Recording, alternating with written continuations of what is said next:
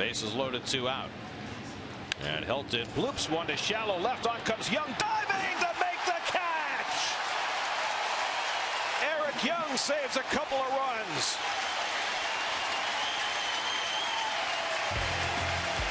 Leaving his feet to take a base hit away from Helton and keep this game tied. Outfield defense has been a big part for the Mets over the last month and a half.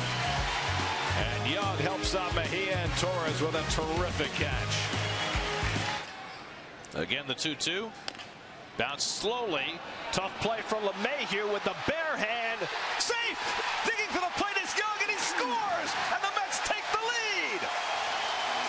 Eric Young never stopped coming around third as Lagares beat the play at first, and the Mets go in front 3-2.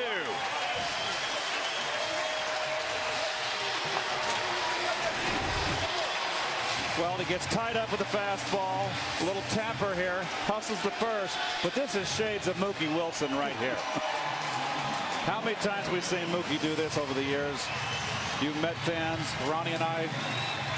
That is great hustle. The problem here is that not with LeMahieu, but Helton wasn't ready in case there was a safe call to throw the ball to home. Tremendous hustle.